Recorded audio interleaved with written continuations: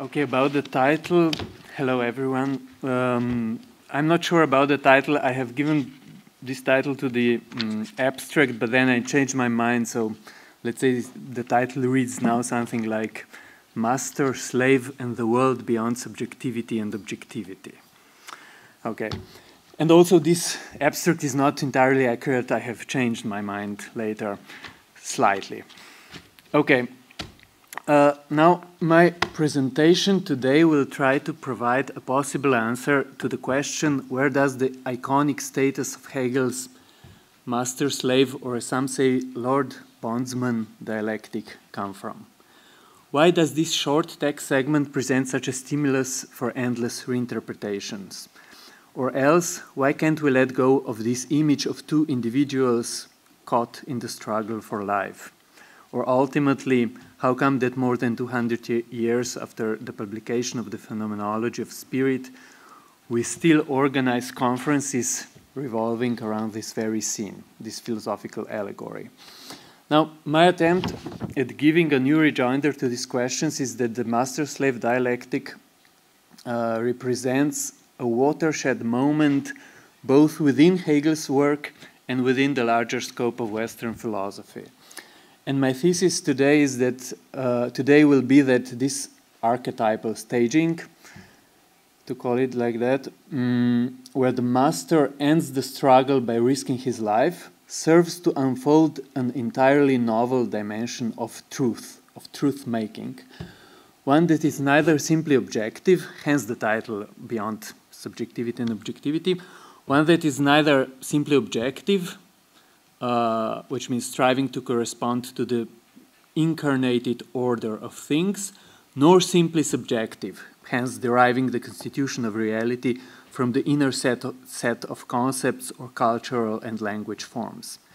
As I will try to demonstrate, Hegel invented a new logical space of truth, which is neither an sich nor für uns, neither in itself nor for us, neither out there in the outside world, the great outdoors, as Meillassoux has put it, nor in here, within the bounds of the idealist subject, the Nietzschean perspective, or the set of social conventions and language games. Basically, neither outside nor in, inside uh, the correlation. Um, instead, it's a truth that requires an event to emerge at all. In our reading, thus, uh, the clash between two consciousnesses, ending in the asymmetry of the master and the slave, represents a paradigm of an event in philosophy, an occurrence which is not derivable from any previous principle or state of affairs, but rather changes the game once it takes place. So its evental character consists in forming a membrane between the outside and the inside world, and it is on this membrane that both the metaphysical let us call them objectivist, and the Kantian subjectivist prerogatives to define truth lose their hold. Incidentally, since he's here, let me mention briefly that it is Mladen Dolar's philosophy that cultivates this sensitivity for truth in its probably universal or inevitable dimension to emerge at the logical space in the logical space of neither nor, hence at the interstice of two massive ontological spaces where both the one and the other collapse. And this is a certain logic that I would like to kind of develop today. Okay, so let us begin and first turn to Hegel's own argument. As we know, the entire phenomenology is propelled by one uh, long striving toward abolishing the dichotomy of the subject and the object and self consciousness marks the first provisional endpoint. The three forms of consciousness before that sense certainty, perception, and understanding were still caught in the juxtaposition of the two poles, of the I standing against the world, but then understanding, Verstand, steps behind the curtain of phenomena, sees the void there, and fills it out itself. And with this, the fundamental uh, dichotomy of German idealism, the subject versus the object, is superseded. So truth has no longer the form of certainty about something other than itself, but instead, the only object of consciousness is now the consciousness itself. Or as Hegel puts it, mm, consciousness is to itself the truth, or even more, more starkly, uh, with self consciousness, then we have therefore entered the native realm of truth. Okay. Now, it seems thus that we have accomplished the path of knowledge and have come to the end. And yet, this seemingly successful closure only opens another abyss, one traversed with uh, agitation and negativity. Instead of being happily enclosed in its own self recourse, Hegel depicts, depicts self consciousness as a figure of great inner unrest. Uh, of course, already by definition, the Hegelian self consciousness is conceived as a return from its otherness, from the sensual world, so it can never exist as a pure worldless entity, as some sort of immediate sense of selfness, a Cartesian self evidence, an intellect, intellectual intuition of some sort. Rather, self consciousness is originally processual, reactive, a constant movement of suspension of the opposition between outside world and its own inner, hard one, only to be attained identity. This identity is never something given, or immediate, or pure. It is for this reason that Hegel gives to the first figure of self consciousness a somewhat negative name. He calls it Begierde, or desire. Now, this Begierde, Begierde is famously constantly devouring, annihilating, digesting its object, but the more world it eats up, the bigger is the hole in its interior. It is eternally unfulfilled, a veritable image of discontent. So, just as Nietzsche named, named the earth a hiatus between two nothingnesses, Begierde, Hegel's Begierde, could be said to be an interval between two voids the obliteration of the outside world and the growing vacuum of the inside. But why is it that Hegel presents self consciousness first as Begierde, desire? It seems that he needs the eternally dissatisfied, dissatisfied structure of desire to satisfy two conditions. On the one hand, the Hegelian subject is originally placed into the world and can never take off from the ground of earth, so to speak, she cannot withdraw to the Cartesian quiet chamber, rise to the Kantian transcendental deduction, or assume Fichte's a prioristic and unabashed self positing of the I.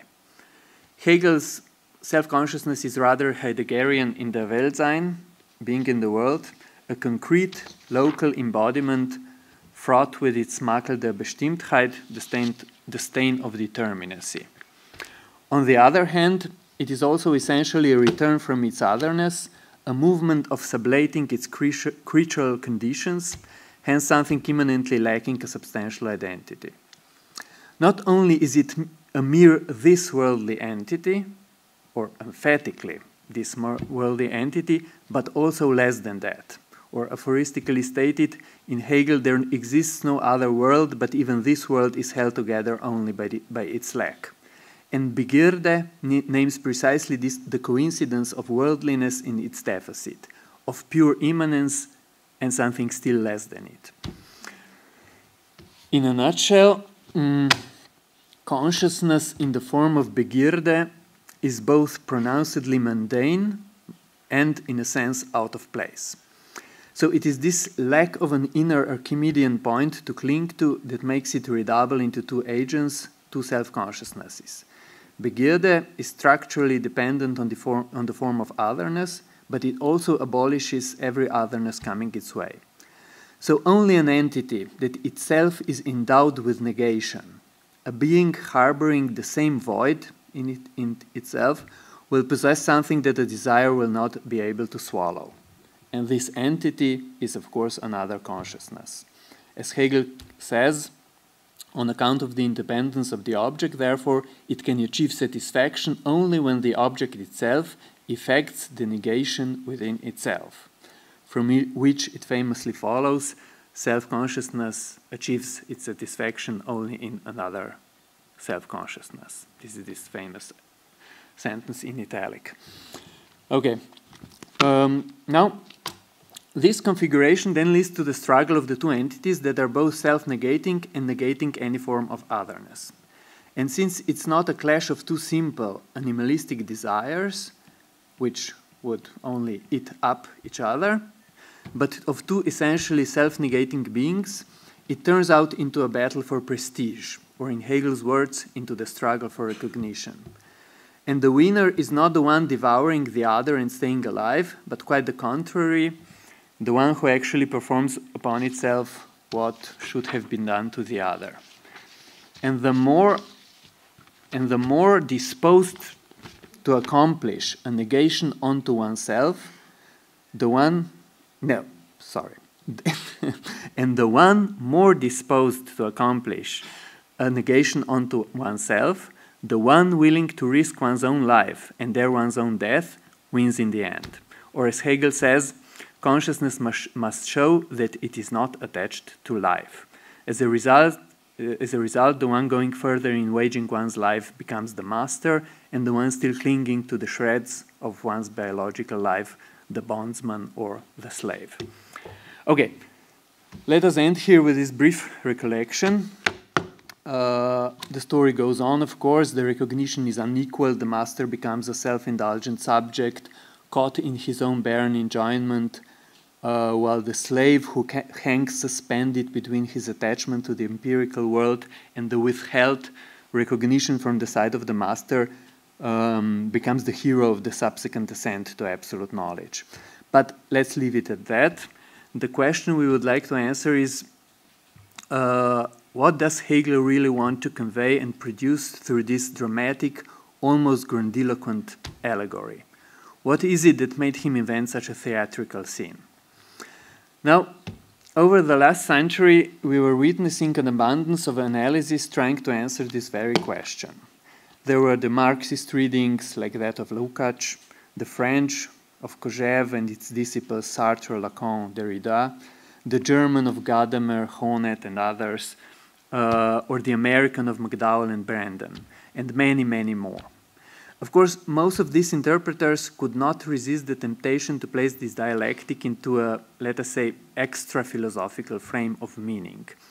They have recognized in Hegel's metaphor either the deduction of the transcendental form of sociality, the establishment of the primary social nucleus, the prototype of a social contract, of the social contract, or a genealogy of domination and bondage.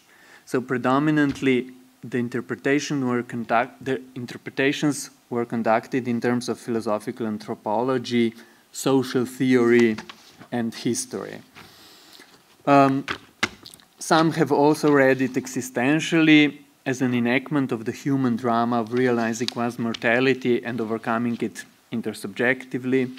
Some pragmatically as an account of collectively making sense of and rationalizing the world. Some psychologically as a reconstruction of the emergence of the sense of self. But what, in my view, is common to all these readings or most of them, is that they could, brought, could be brought under the, under the denominator of interpretations of immanence. As I see it, mm, the magical X, the never fully accountable surplus that makes us return to Hegel's master and slave time and again, is the fact that it is a story of pure immanence giving birth to its own self transcendence, without invoking any transcendent element be it any religious or normative notion, any kind of Platonic or scholastic idea, or any of the pseudo metaphysical, sometimes almost pseudo theological concepts, such as Kant's factum of the moral law or Fichte's conscience. Uh, so, in contrast to previous theories of society and subjectivity, uh, this is the tenor of all these interpretation uh, interpretations, the Hegelian narrative seems to be more terrestrial, sorry, more, yeah, seems to be more terrestrial, more slender and constrained. There is only Begierde and its self-sacrifice, nothing more. So an almost pre-human biological life spawns a sort of uh, self-referential closure in its midst and then this disgorges the rudimentary form of the social bond. This means that Hegel provided an atheist, albeit artistically unusually appealing, account on how the world without gods, without a mythical ideal or metaphysical superstructure, can nevertheless produce something well nigh transcendent, namely the miracle of self consciousness and intersubjectivity. However, these are the traditional interpretations. And, however, it seems to me that all these interpretations of immanence, as accurate and justified as they may be, are still somewhat undernourished in the light of the overly stark accents of the Hegelian drama. Uh, in my view, the elements of this dialectic, the, de the devouring of the Begierde, its annihilation of everything, its inner discontent, its redoublement into two, the struggle, the risk of death, the severing of all ties with being, the absolute melting away of everything stable, as Hegel puts it, and the resulting mastership and bondage are motives too excessive, too transient, um, to be conceived within the frame of either sociological, anthropological, existential, pragmatic, or subjectivist immanence alone. Immanence alone, yeah. To put it bluntly, um, Begierde, taken merely in its worldly intersubjective dimension, would probably never come up with the idea of staging the event of its own death. So maybe something else is at work here, something that goes beyond the mere games of mundane interests.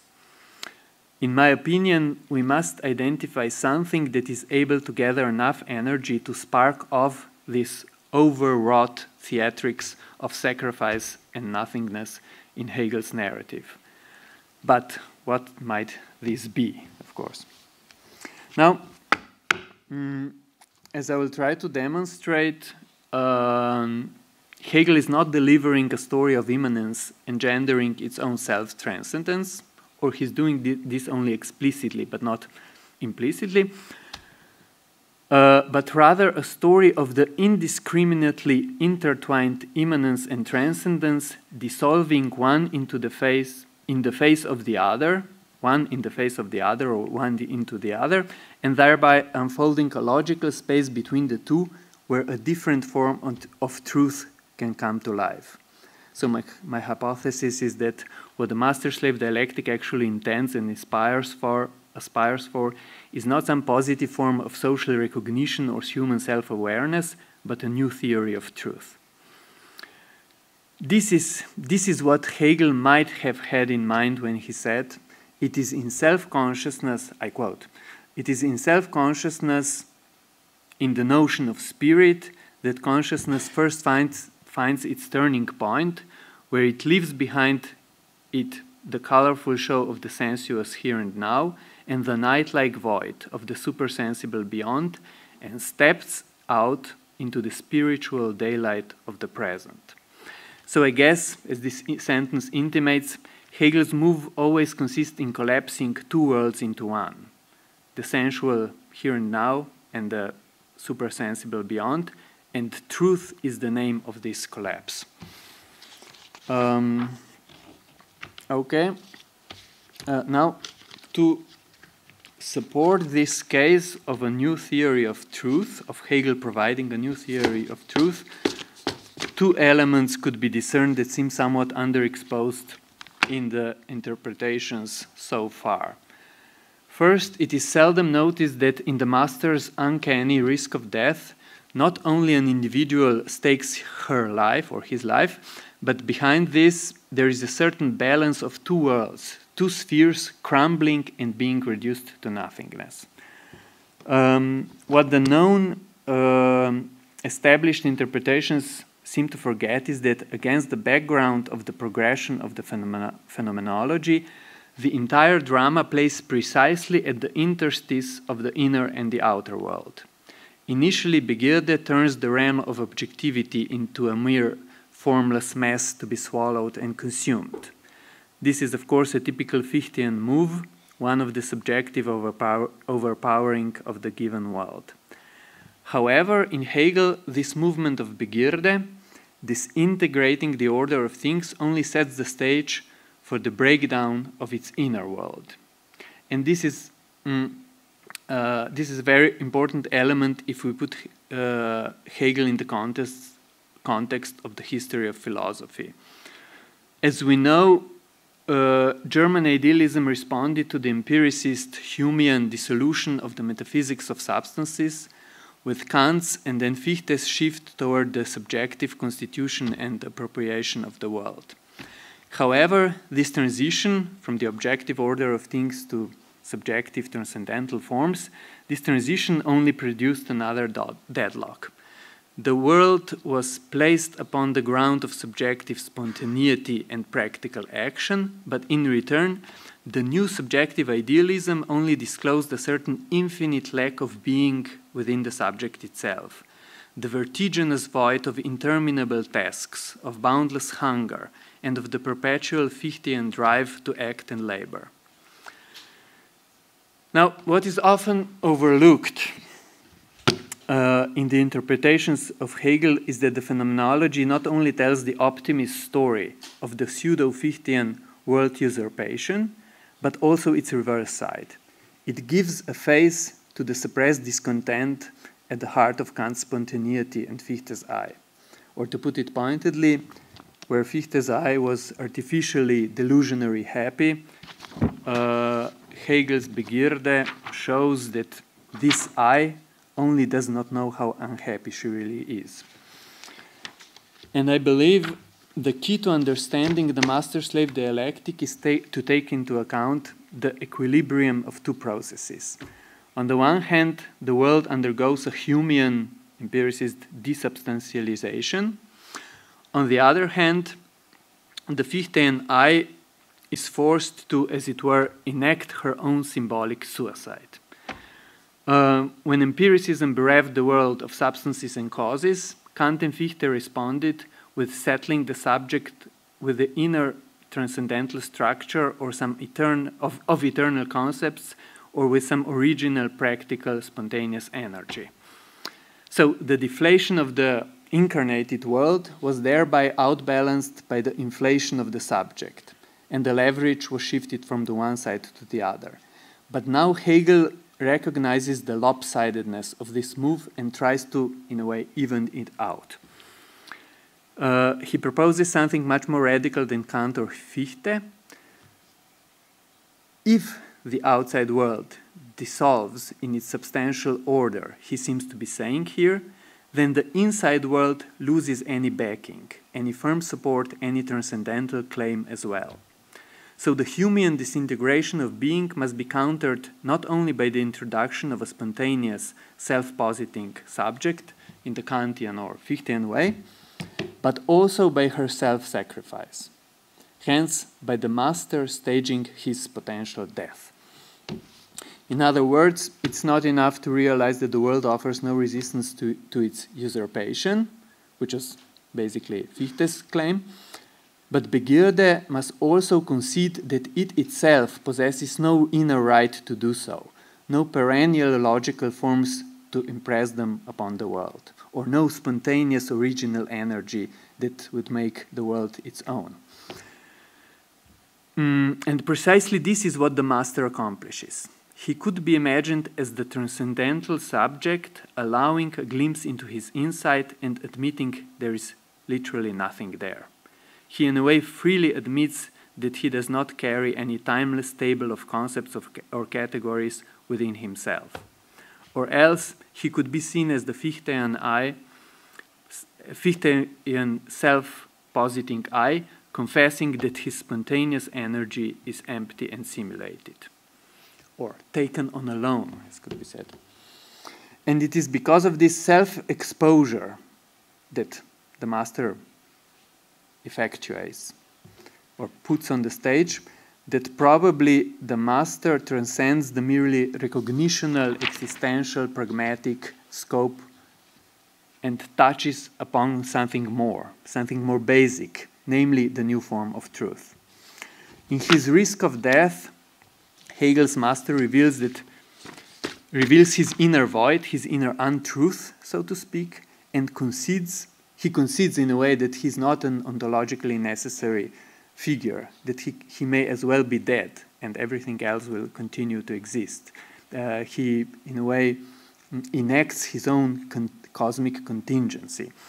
And with this, he concedes that the, the only truth is the one still to be produced in the process that follows. So he, in a way, admits I bring no own truth into the game in the way that Fichte's I still has brought it. Okay. Mm. Now, that was the first, in a way, overlooked uh, coincidence or condition that probably this, this well-known traditional in interpretations uh, failed to uh, take into account. And the second, somewhat neglected layer of this dialectic is that it tacitly performs a break with two most fundamental principles of classical metaphysics, the law of non-contradiction and the principle of sufficient reason. You know, famously Leibniz in monadology uh, states that all his reasonings are founded upon these two principles. So to return to Hegel, the entire section of self-consciousness is of course in itself fraught with what the classical thought would perceive as illogical. Begierde wants its object to be and not to be. Life is a unity of opposition, a fluidification of all differences, etc. But it is precisely in the figure of the master that both, trans both transgressions of logic coincide explicitly. In this sense, the logical, um, the logically succinct definition of Hegel's masters, master could perhaps read, a figure incarnating both contradiction and unreason at the same time. Namely, in his risk of death, the master achieves a fleeting moment of both being and not being, and he does that precisely by way of exempting himself from the causal chain of sufficient reasons to which the slave still adheres. In Hegel's own words, the master must show that he is not attached to life, while the slave could not break free from the chains binding him to this very life. Now, this interpretation that here actually tacitly the invalidation of two basic logical laws of classical metaphysics is being, being performed uh, makes sense, especially if we read uh, if we if we read the master-slave dialectic in parallel to the beginning of the science of logic, which could be viewed as a certain repetition of the struggle for life within the realm of pure logic. Now, both text passages, the master and the slave, and being and nothing, exhibit the structure of an irreducible duality. The one element is essentially not derivable from the other. They originally come in two, and the function of their twinship, two-ness, duality, is that the one directly and without any reason whatsoever negates the other. Just as the master reveals to the slave that there is literally nothing there behind the veil of subjectivity, hence that the logical core of the subject is empty, so the science of logic so in the science of logic, the non-derivable, non-propositional exclamation of nothing demonstrates to the being that there exists no such thing as an already elaborate logic. There is no structure of innate ideas or transcendental forms behind that could merely be deduced. The nothing as the second category of logic conveys that every other category, from becoming to existence, from essence to concept, will only have to be produced in the following process of logical thinking. So in a way, maybe that nothing uh, exposes the same void within the heart of a logical category as the master exposes it within the heart of subjectivity. Okay, now to continue, it is important to define very carefully where exactly does this invalidation of both logical principles take place. And this is the crucial point of my argument. Now the question is, when Hegel, in making the master stake his own life, circumvents the validity of both non-contradiction and sufficient reason, does he do it in order to disclose a completely lawless, erratic, anarchic, contradictory universe? Does he want to let us know that everything in this world henceforth is also its own negation and everything can happen at any time. Well, anyone who has read Hegel knows that nothing could be less Hegelian than this. Hegel was, of course, never a romantic who mystified nature or the human soul. The tenor of his philosophy is not to endow the given things with ambiguities and absurdities. Far from it. When he, for instance, cast a glance at nature, uh, he never recognized something chaotic, subversive, unpredictable, or inconsistent about it or in it. Rather, he always seems to have been uh, absolutely bored by the prospect of the given world. Uh, he famously called, in his conversation with Heinrich Heine, he called the stars the luminous leprosy of the sky. And, his, in, and in his hike to the Bern Alps, he only described it, the tedium and the, of the grey stone masses and the unsightliness of the glaciers. Also, in Hegel's eyes, the human soul in itself was never something profound, never an irresolvable romantic or Nietzschean tangle of irrationalities, but rather something shallow and, and, and uninteresting. Um, so, what must therefore be stressed is that the principles of logic do not collapse as rules that structure either the facts of the outside world or the ideas and representations within our inner world. Instead, they only break down at the interface between the complete obliteration of the outside on the one hand and the utter sacrifice of the inside on the other. This means that their bracketing, their abrogation, does hold neither simply for the world, nor directly or simply for our subjective insight, but only for the domain where the one sphere touches, determines, mirrors, in a word, parallelizes the other. And this is crucial. Even though Hegel could at times be seduced into, um, into staging the world as a venue for real con contradictions, as they are called, uh, for, for instance, in his philosophy of nature, one could perhaps find such moments. His inauguration of contradiction and lack of reason as laws of universe actually never applied to the givenness of either nature or the human soul as such, but only to the laborious, only to, in a, in a way, only to the moment when the two, the two spheres clash, so only to the laborious process of constructing concepts and truth at that interstice between the two. Um, so the question is, of course, what does the invalidations of the two laws of logic amount to if it occurs at the boundary between the outside and the inside world? As I see it, Hegel's move only serves to break apart the form of truth that fundamentally intertwines the order of ideas with the order of things hence the form upon which classical metaphysics was based. Okay.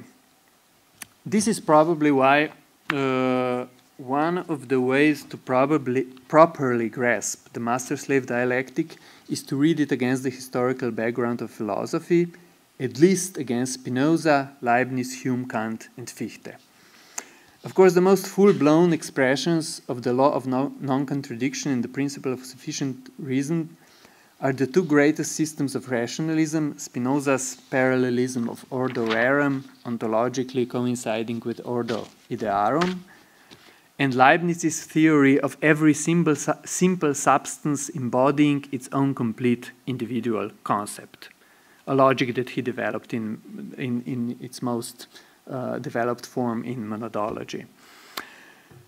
Now, German idealism, to skip empiricism, German idealism tried to re-justify the logical consistency of the world within the sphere of the spontaneous free subjectivity. In Kant, of course, both non-contradiction both non-contradiction and sufficient reason were saved, but for the price that the subject itself, the very entity who imposes logical order upon things is exempt from their jurisdiction. Spontaneity means exactly that the sub subject of understanding cannot be derived from any previous reason, that it cannot give reason for the way why, why he or she is the way it is, she is. On this basis, Fichte then expressly designed the I as not abiding by the logic of reasons, he, he, he literally says uh, uh, the I cannot give any reasons for his appearance. Um, and uh, it breaks actually the, the, valid the, validity of sufficient reason, and he conceived his subject as a unity comprising both itself and its negation, both the I and, and the not I. Uh, thus, with Kant and Fichte, the logical guarantees were transposed into the idealist subject, but now this subject failed to account for its substance and its ultimate reasons. Its ultimate reason. And this is where Hegel intervenes. It is in this context that we can probably best understand the reach of his operations. When the design of self consciousness as Begierde and the master's self sacrifice reveals what the design of self consciousness in Begierde and the master's self sacrifice reveals is the fact that the subject itself is void and possesses no necessary inner forms to still vouch for the correspondence between the logical structure of reason and the ontological order of the world. In Fichte, it was the I's practical claim that could fashion the world according to his own reason. But in Hegel, this very I now stakes his, stakes his own life, thereby showing that he is utterly contingent and possesses nothing of necessity, of necessity inside. With this, Hegel performs an important shift and goes beyond both, both his predecessors. Kant and Fichte still wanted to make the world reasonable, even if only from the perspective of the subject. So they justified the reason of the world from the point of view of spontaneity and self-positing, a point which in itself has no reasons. Nevertheless, this point is foundational, ontologically necessary, and, let us say, world-making. Hegel, on the other hand, invalidates the logical laws on an entirely different level. He makes them collapse at any intersection where either the given world determines the content of our ideas or our ideas are supposed to synthesize the world of our own. So, what Hegel accomplishes with that is a new form of truth which first dissolves any magical correspondence between reason and the world, and second, lets the new truth emerge in the events of the clash between the two worlds, where concepts and reality enter into a more complex relation than the simple metaphysical parallelisms between the two.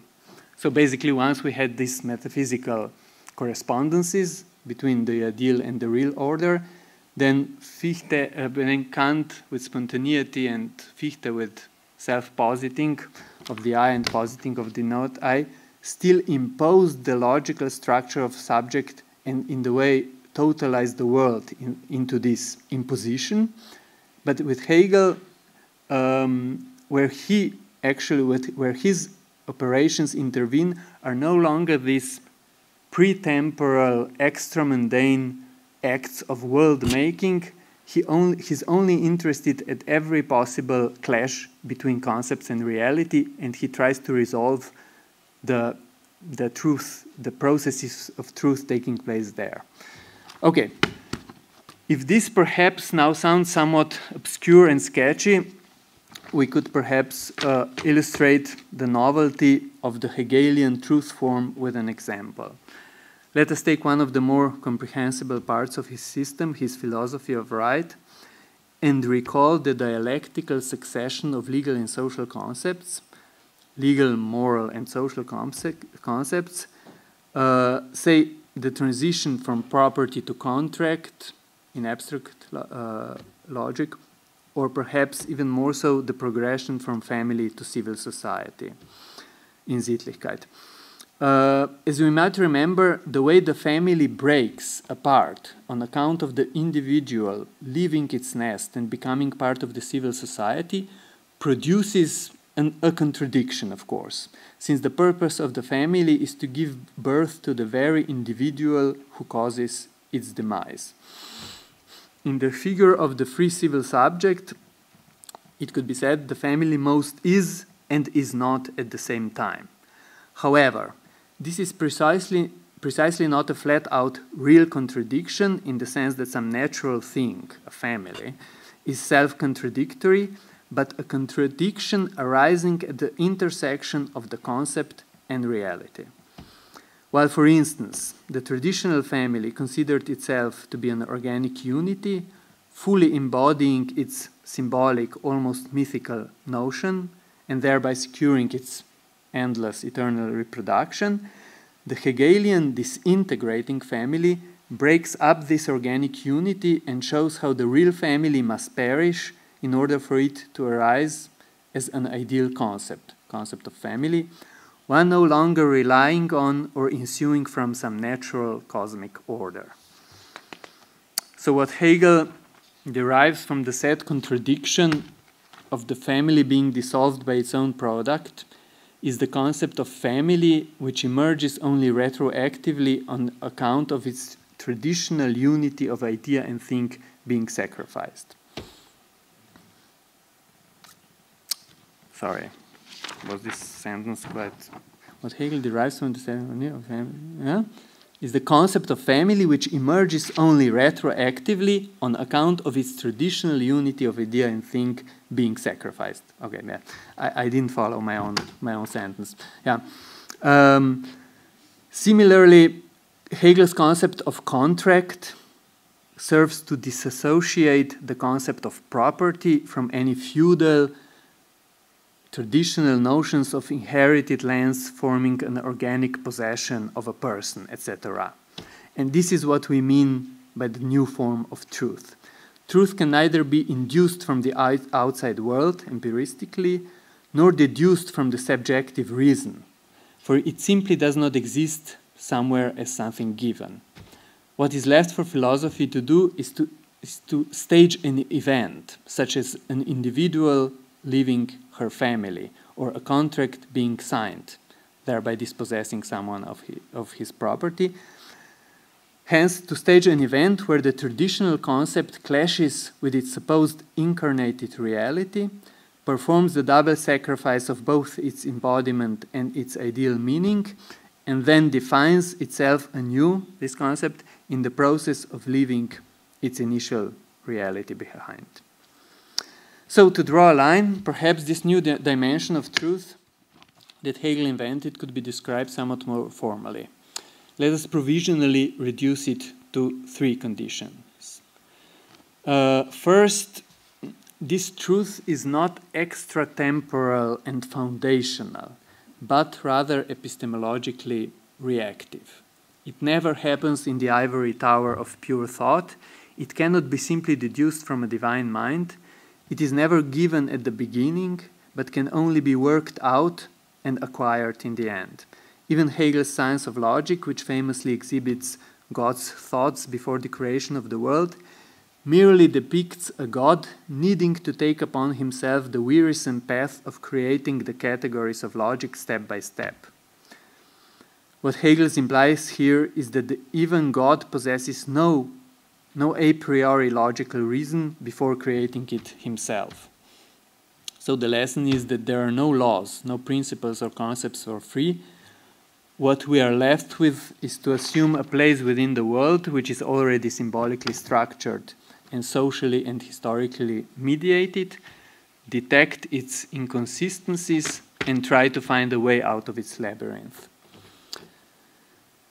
We have to assume the labor of disengaging the ideal order from the real, let the traditional interpenetra interpenetration of transcendence and immanence collapse, and then, on the one hand, release reality from the constraint of directly embodying the forms of reason, and on the other hand, set in motion the dialectical redefinition of concepts.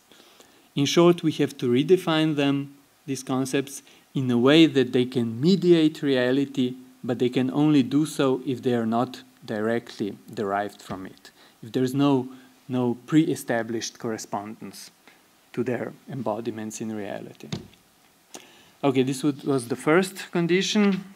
Second, uh, truth is not inductive deductive or transcendental, hence not empiristic, not rationalist, not Kantian, but historically evental. Crucial about the Hegelian form of truth is that it cannot rely on any firm, substantial, pre-given frame. Uh, it cannot rely either on the first principle from where everything can be inferred, or on a transcendental structure which sets the conditions of everything, or a regulative idea to, toward which everything strives. Instead, in Hegel, we are condemned to take a position within the immanence that is always already conceptually structured, and there we must identify its tensions and antagonisms, create an event, and elaborate its consequences. In light of this, the master slave dialectic is a prototype of such an event, a proto event, so to speak. And what makes it evental is that it makes both the outer and the inner world collapse, and in doing so, it institutes a non derivable form, the figure of the master, who will henceforth pose as a no longer resolvable, an irreversible benchmark for the future development. Okay, and, the, and third, truth is ontologically minimalist instead of maximalist. Say, the paradigm of a maximal, maximalist truth was, of course, classical metaphysics, where the entire created world, into its last corner, testified to the perfectly calibrated order of ideas standing behind it.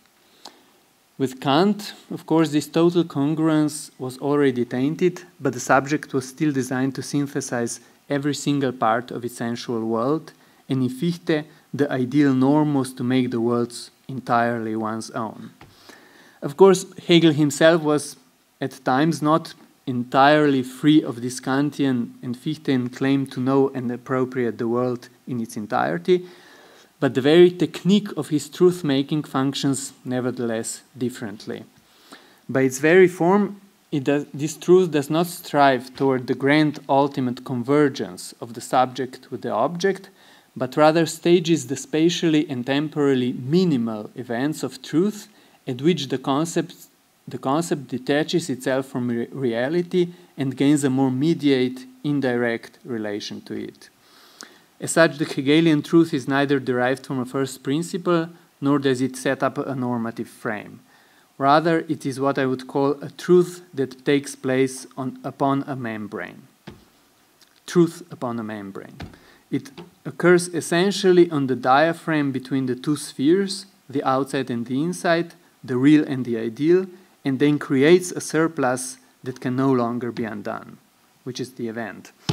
Okay, so to conclude, Mm, let us now suggest that the struggle between the slave and the master is the full is the first full graphic enactment of this reactive, evental, and minimalist truth, one which places the production of truth on an entirely new, new level and severs the ties with the old, either metaphysical or Kantian conceptions.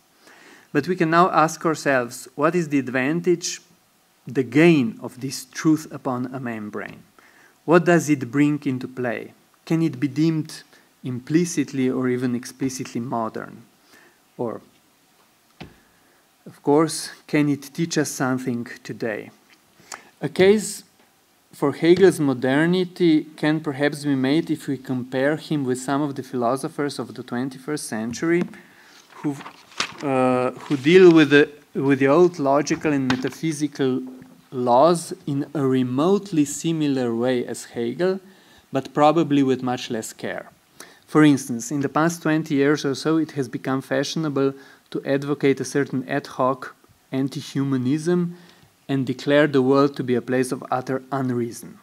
Quentin Meillassoux proposed in his After Finitude an ontology which abides by the law of non contradiction, but entirely discards the principle of sufficient reason. So he fashioned the principle of, the principle of unreason, irraison, claiming that the only necessity is the one of utter contingency of everything, including the laws, which means that in this world of hyper chaos, as he calls it, anything can happen at any possible moment. Meillassoux then nevertheless advocated the relative stability of things, and he justified this with an argument that has been repeatedly accused of being merely rhetorical and sophistic. We will not go into that. Mm, what we are more interested, more interested in is that against this backdrop, the Hegelian moves may probably seem more complex and refined. Uh, when Hegel, with, within his systemic dialectic of concepts, stages the events which overrule both the non contradiction and the sufficient reason in the classical sense, he only invalidates them within the range of these events and not outside. He does, he does it in order to demonstrate how the logical consistency of the one realm, say the realm of ideas, is not directly coextensive with the other realm, the realm of, the realm of real things. And what remains of this operation is precisely not an, an image of an erratic, unstable world, a, a, chaos, a hyper chaos of Meillassoux sort, but the world no longer governed by the ideal constraints of classical metaphysics. So, what can be derived from Hegel's circumventions of from, from Hegel's circumvention of logical laws is an entirely different image of reality. What he shows is that the old metaphysical conflation of sufficient reasons with causality and of non contradiction with things and their relations to other things is only possible in a world where the real order is entirely pre established within the ideal order and the ideas constantly intermit and punctuate reality, the way it happens at Leibniz hence in a world designed by the rationalist God. It is, for instance, quite telling, quite ironic, that the most elaborate system of sufficient reason, Leibniz's monadology, is also the one without any real causal interaction. As we know, one monad cannot causally interact with another monad. And, and at the same time, this is the paradigm of a universe of sufficient reason. And in this context, Hegel's break with the classical logic is not about disclosing some intrinsically chaotic world in the vein of Meillassoux. I only have one minute. Uh, in the vein of Meillassoux, and he does not plunge us into the world of embodied paradoxes or something like that. Instead, he performs two operations that are probably much more far reaching than what the contemporary realists propose. On the one hand, Hegel frees the causality of the world from the Leibnizian inhibitions of determinative reasons, hence from the constant constraints and intermissions of divine ideas. On the other hand, he relieves real things from the ideal form of substances and perhaps even helps disclose the world where relations ontologically precede any stable essential identities. Now, it is of course true that Hegel was not fully aware of the reach and scope of his, his inventions, but it is possible to guess, uh, to guess to which conclusions his thought might have led. So, in this attempt at carrying his for work forward, the Hegelian form of truth upon the membrane, the membrane between outside and inside, could perhaps be said to perform two momentous operations. On the one hand, it detaches the metaphysical form of self identical substances and sufficient reasons from the physical chains of causes, effects, and relations, thus revealing a world not expressing any ideal order, hence the modern world of causality and relationality.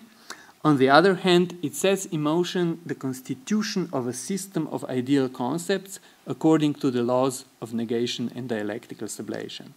So this is, in a way, these two spheres are now separated. And this is where, in my view, the truest modernity of Hegel lies. Sorry, I actually have, can I have just, just one minute more? I think it's, know. Okay, yeah. I'm, I'm sorry to cut you that way. Okay, yeah, no, page 20. I've lost it. All right, but if, now, you, now if it's it. really a finishing thought, go One ahead. minute. Um, this brings this pre presentation to the end. Uh, uh, now, to bring this presentation to the end, the great ambition of the contemporary newer specul speculative realists has been to invent images of the world without man. We have said that the Hegelian, however, we have said that the Hegelian truth occurs neither in the outside world nor within the subject, but upon the membrane between the two, where the one side some, somehow takes the wind out of the sails of the other and vice versa. But lastly, does this mean that the Hegelian form of truth is still humanist, still caught in the, into the correlation of human thought to being? Of course, I would say that precisely not. What Hegel shows with his evental minimalist reactive truth is neither that reality depends on the case on the gaze of man, nor that reality outside this gaze is unattainable in principle. Rather, this new form of truth, although Hegel has only left us with a few clues about this, could be said to imply that cosmic reality can do well without man, but it is truth that requires a membrane at the boundary between the inner and the outer world, where both sides can sacrifice the illusion of possessing any truth of their own. In this sense, the, the Hegelian doctrine may well reveal, may well reveal a more anti-humanist, anti-humanist vision of the world as the speculative realists could ever dream of. It namely unveils the world that is neither lawless nor contradictory, but simply possesses no truth and no, knows no truth about itself before it enacts an event where such truth can come forth. It is thus not a world governed by unreason or by contradiction, but a world that must give birth to its truth in the first place. Okay, thank you. That will be all. Mm. Um, thank you. Uh, Jure, thank you so much. I'm sorry if I was a menacing presence uh, over there, scaring you into conclusion. Uh, this was really rich, uh, throwing punches at Quentin Meillassoux, really interesting. Uh, but we only have time for really quick and to the point questions. I'm really sorry, but I'll have to be. I was somewhat overlong. No? I will. I, I, will have to be the guy that cuts uh, things, you know, so, so that we keep on schedule. So if someone has a short, to the point question please speak. Francis, you wanted to say something? No? Okay. So, short and to the point. We do. Thank you for that. I can't wait to, to, to read about this. It, it, sounds like exciting work that's coming out. Uh, very intense and, and super high level, so thank you. Just wanted a super quick question is, um, the point where you said several times that the master is at puts himself at the risk of death, but in the narrative in the phenomenology of spirit, Hegel doesn't name the master yet at that point. Has that sentence speaking and naming the master uh, as Er after the struggle to death. So there's a moment when there's a struggle to death without the naming of mastery. How do you think about that in relation to your argument? That in fact, do we need the master to be named? Because once the master is named, his relationship isn't to the struggle for death, but to the enjoyment of the uh, of the labor uh, that the servant produces. So I always think of the master as a figure of enjoyment, and sort of might or might that not have a different inflection for what you're thinking about? Oh, but the result of the struggle is the the constitution of two figures. So the one severing the ties with his biological life becomes the master and the fact that he is not named before, where, what's the problem? I, I don't see it. I mean, I, I, am not sure where. Because he's not named, mm -hmm. he's not a master, he's not named. So, if, I mean, it's, I could call it a giraffe. I mean, why, what? you see what I mean? Like the name yeah. for Hegel, and that's part of the discursive idiom, is to sort of do something and then finally name it. So I think you could argue retrospectively that that's the master all along, you could argue retrospectively oh, that's no, the no, master all along. But. Um, I was probably slightly inaccurate. I don't think that there was a master all along. I, I conflated and uh, or somewhat shortened the narrative in the way that the, the consciousness that later became the master is the one that before that, of course, um, uh, sacrificed his life his life, but I'm not sure um, where are you going with this. What's well, just because the I think enjoyment is a different uh, form of being than it, risking yourself at, you know, putting yourself at risk for death. I mean, right? Mm -hmm. so yeah. you know, so if the master is he who is predicated on the risk of death, and is then named afterward as he who is the one who enjoys, I feel like those are different constructions. No. Okay. No, but first, some things are quite clear in Hegel. There are two consciousnesses. There's the one staying attached to life, and there's the one uh, presenting his willingness to risk death. And the, the other becomes the master. I'll, I'll, I'll, okay. have to agree with Andrew yeah. here. I think there are two stages. The 1st mm -hmm. stage, yeah, yeah. it's unclear it could be uh, like he talks about uh, two consciousnesses, yes, self consciousnesses, that go at each other, Mm-hmm. but it's not clear that none of them will die. Like both of them might die. Like it could be a meeting of two masters if we already had that concept. Like it's only in the next stage that we have like the separation uh, of the the the the Herr und Knecht. Simply because both Yeah. of the both of the No, no, people it's survive. true. The- so it's a, it's a, it's the like master and the slave are the, uh, are the outcome, not the original names for the subjects caught in the struggle. But um, if okay, that was a conflation on my part. But if you take that, if we, if you take that out of the equation, uh, what's the problem there? I mean, I don't, I don't see it quite. Well, the problem is because it's Mm-hmm. the words on the page and the way in which Hegel presents his narrative in an order. I mean, we'll just, uh, you know, have a different perspective on that, but Hegel's form is disclosive in that way. Uh, you finally figure out what he's saying when you arrive at a point where he tells you what it is, and I think that. I think for you, in your in your mm-hmm. defense, or to say it on your side, is that there is a retrospective force. There's a retrospective kind of reading that you can do from the point of naming the master to the point where the master is not named, but yet is an entity struggling to the death or putting himself mm-hmm. at risk of death. I, I would. That's a fair conclusion too. But I just wanted to Yeah. kind of sort out. It's really a question about the narrative and the ordering of the presentation, and how much would you want to conflate, or how much would you want to kind of follow the order of the presentation.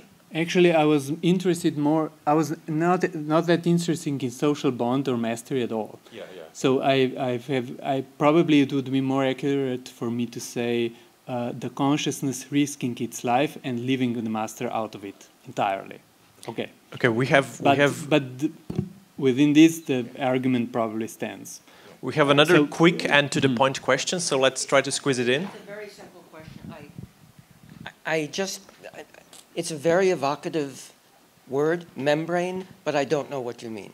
Uh, I don't know what a membrane. membrane. Membrane. You keep talking, invoking membrane. Okay, maybe membrane is another unhappily chosen word.